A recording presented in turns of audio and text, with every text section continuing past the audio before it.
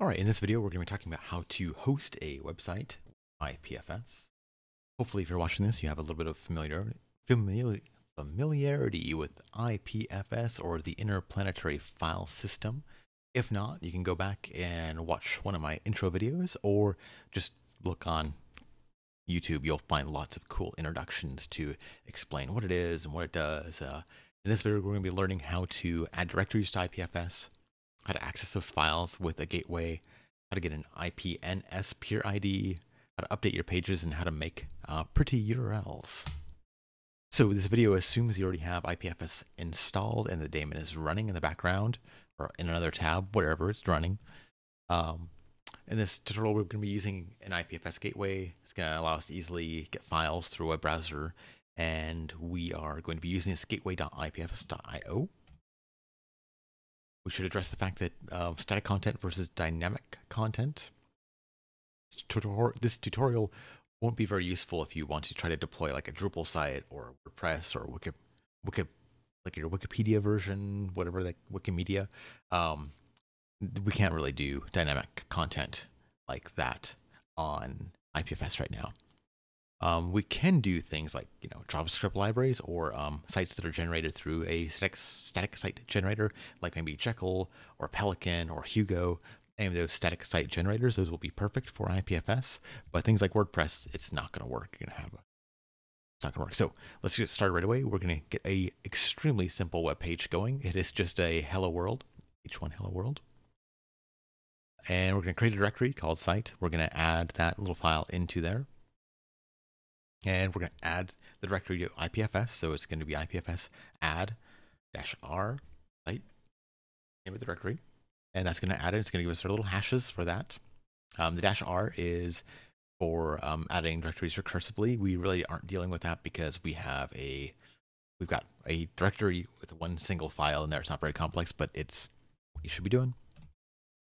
So we're going to go, actually, we're going to look for. So we're going to go, uh, we're going to use this uh, gateway.ipfs.io and we got slash IPFS, and then you give it that hash value, and it should, boom, there you go. So if you were to go to that link, you will see this magnificent handcrafted web page that says Hello World. So that works. Um, we want to modify that HTML. So now we're going to add a little p paragraph with just I like pie. Who doesn't like pie? I like pie. Um, and we're going to go there again. And hey, what happened? Okay, I'll tell you what happened. Um, the hash is the same hash. We're reusing that same hash from the old file. And if you remember from other tutorials about IPFS, the files are immutable. They can't be changed. Um, and we changed a file. Uh, so what we what do we have to add the directory again? It's going to give us a new hash or a new address. All right. So different files have different hashes. Our hashes are where we get our addresses from. So that's why that file didn't change is because that file is immutable. It can't change. If you want to change it, it's going to have a different name or a different address or a different hash. Um, when we modify the, when we modify the file, the hash changed, and yes, we, we covered this. It's, once again, I'm getting ahead of my slides. I'm trying to get ahead of my slides. Um, so this is going to be a problem. Um, every time we change a file, the address changes. It's going to be really terrible for a uh, web page. Just imagine the uh, front page of your average blog. It changes every single time you add an article.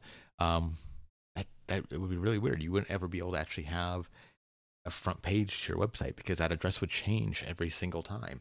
That's that's a big problem. Um, that's where we get into IPNS, the Inter- Interplanetary Naming System going to help us make things a little bit better. It's going to give us one address that's going to basically refer to other content. May sound confusing, but it's a workaround. So I show you what the problem is. This is the solution. Right now, don't worry about how it works. It's just pretend it's magic right now, um, just so you get the feel of things. It's not magic. Trust me, it's not magic.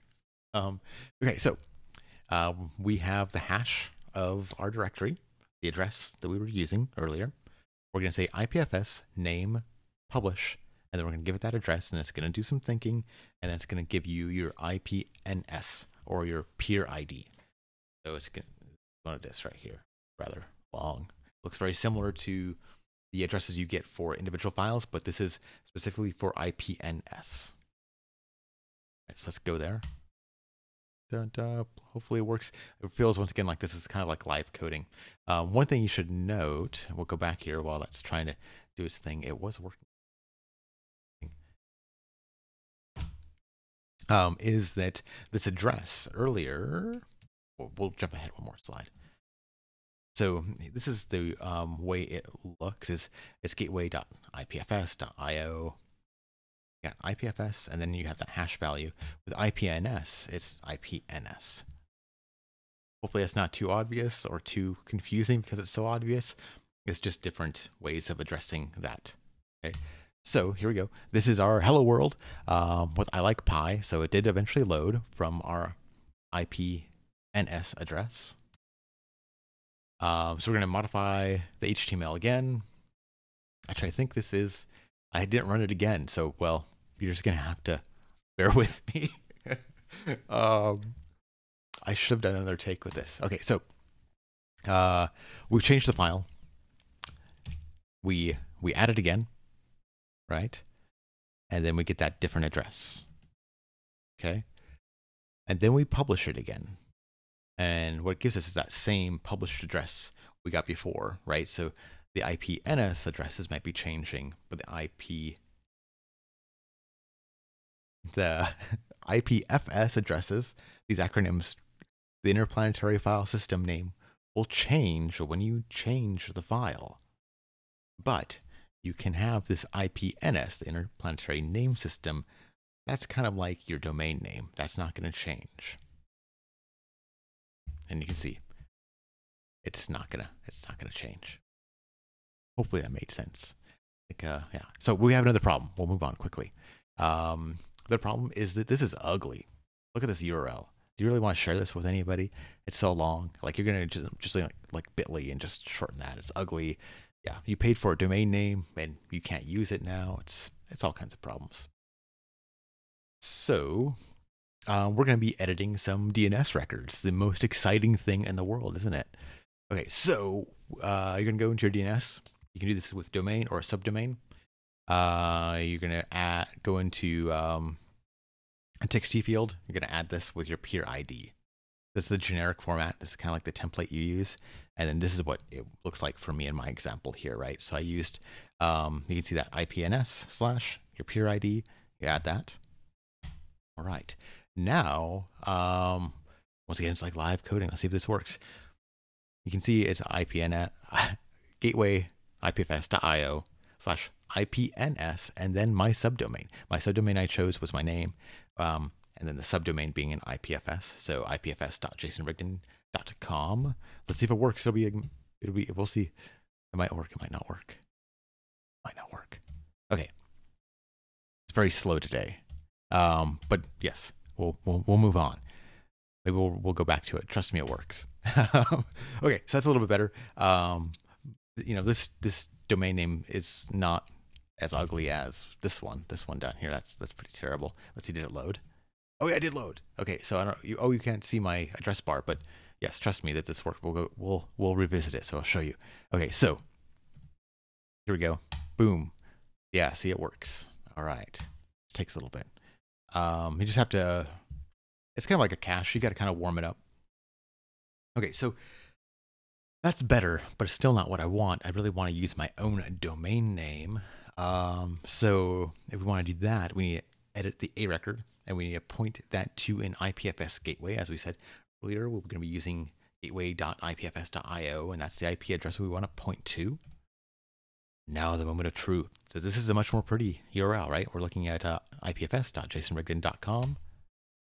Go, and it works. So if you go to that URL, I'll have this in the uh, notes at the bottom.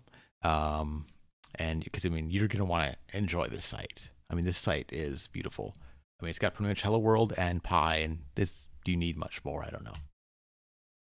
So that's how you uh, deploy a site um, to IPFS. In conclusion, we learned how to add directories to IPFS, how to access them with the gateway, how to get an IPNS gateway. And you heard me say IPNS and IPFS so many times, I confused myself and probably you. Um, and we talked about how to modify your uh, DNS records for an IPFS site. Oh, we have more. Wait. Oh, here we go. Let's see. Wait. I have two conclusions somehow. Um, yes. I, oh, I have two conclusions. Yes. I'm very confused about that. I'm sorry. I probably confused you too. Um, because we, we forgot the, the better one right here. Um, we also learned how to make uh, pretty URLs. Um, now you know how to make host a website on IPFS. There are going to be some links and other resources in the video description below.